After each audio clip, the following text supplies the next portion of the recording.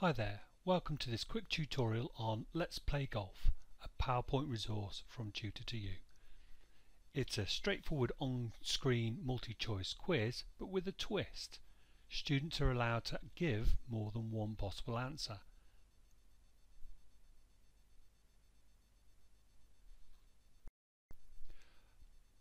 Before we start, let me just show you this slide here, which is the print off for your students. So print one of these off for each student, but then separate your class into several teams. They'll note there that they're going to be asked nine different questions and they're going to get a score per hole, if you like, score per question. Okay, imagine that you've given a worksheet out to each of the students, they're in their teams as well, and they're ready to answer questions. You've got a quick reminder of the scoring mechanism on the screen. They're meant to reflect a sort of golf type score. So a score under par is a positive thing if you like, even though it says minus, and a score above zero, above par, is not such a good thing as it would be in golf. So they're going to be presented with a question, four possible answers, and they have a choice. If they're absolutely certain they know the answer, they'll just ring the one that they think is correct. If they're not quite so sure, they'll ring two of them.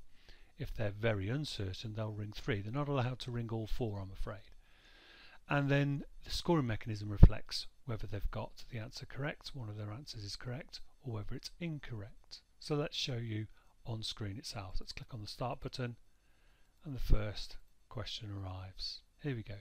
Question one.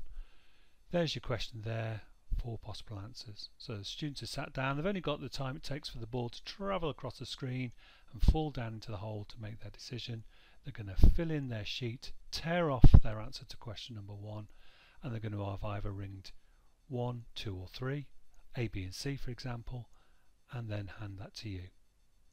Okay, when all of the teams have done that, you as a teacher can then reveal the, the actual correct answer. And there we go, it was answer C in this case. Okay, so we've done question one, we've got our little tickets in from each of the teams. Let's imagine we've got three teams playing in this game we're going to click on team 1 and let's imagine they just rang one answer and they got that correct and there's their score.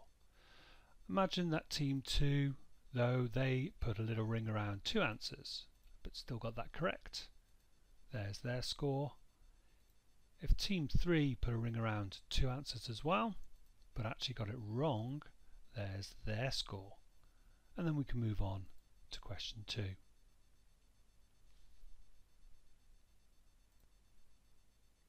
Okay, we keep doing that for all nine questions, entering the score in at the end of each of the questions, and then hopefully by the end of all nine rounds you've got a winning team.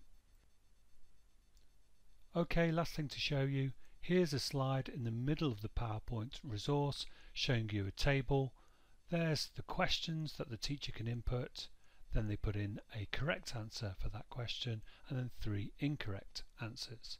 The PowerPoint resource alternates the correct and incorrect answers around so that they always randomly turn up A, B, C or D. Teacher can change those questions and answers to whatever they want them to be. That is Let's Play Golf. I hope you enjoy the game.